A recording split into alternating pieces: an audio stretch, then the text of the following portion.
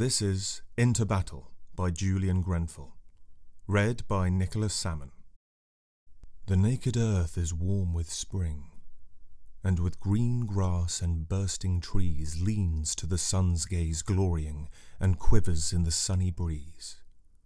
And life is colour, and warmth, and light, and a striving evermore for these.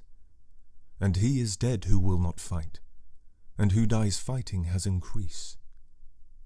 The fighting man shall from the sun take warmth and life from glowing earth, speed with the lightfoot winds to run, and with the trees to newer birth, and find, when fighting shall be done, great rest and fullness after dearth. All the bright company of heaven hold him in their bright comradeship, the dog star, and the sisters seven, Orion's belt and sworded hip, the woodland trees that stand together, they stand to him each one a friend. They gently speak in the windy weather, they guide to valley and ridge's end.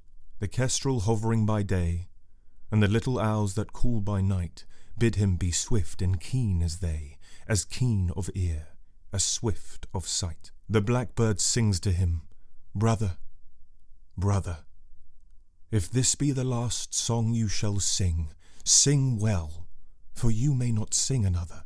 Brother, sing.